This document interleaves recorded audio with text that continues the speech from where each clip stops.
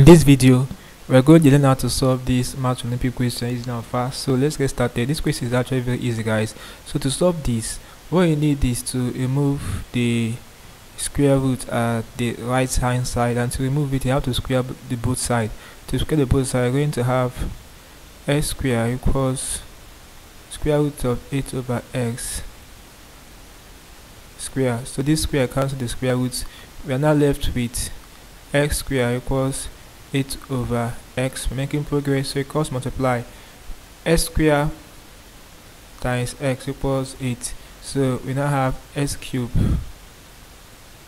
equals what? 8 now to make x squared formula you find the cube root of both sides so cube root of both sides so this cube cancel this cube root.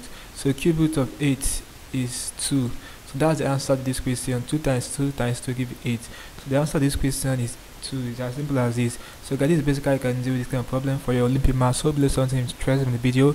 Let's go to the video guys. If you are new to the channel ensure that subscribe to this channel by hitting the subscribe button for more of these videos so like share and comment on the video. Tell me if you watch and learn the video.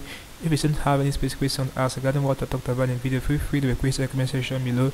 And i'll ensure to give you a response. Also ensure that parts of channel membership by clicking on the import so now you're getting premium information on how to solve other math Olympiad problems in the meeting. Having done this, click on the screen above and I will see you in the next video. Thanks for watching.